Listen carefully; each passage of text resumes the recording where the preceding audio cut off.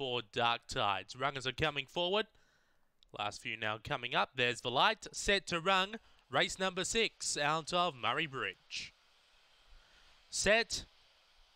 Away, Queen of Fire began well, is hunting a rail and will lead by a length early over Webleck Mist. Then we go back to Testarossa Boy, Aston Carlos. Dark Tides back behind those, Jack's Cade. Back towards the end there with Webleck Mist. They race up to the turn. Queen of Fire on top. Aston Carlos through to second. Dark Tides on the inside. It's Queen of Fire by two, doing it well. And Queen of Fire will be too good. Second was either Dark Tides or Aston Carlos. Fourth will be Webleck Mist. Then we go back to Vontae Mac, Testarossa Boy, and Jack's Cade. That time around 25 and 60. After race number six, they went 8.03 and 16.55 early there. 25.60 that time, and a one Queen of Fire has been too good for Clint Trengove, leading all the way from box number one, the odds on pop.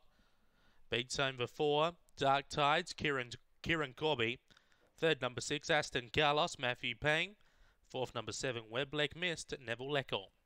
25.60, two and a half by a half head, two and a half by a half head. One, four, six, and seven are your numbers here uh, after race number six at Murray Bridge.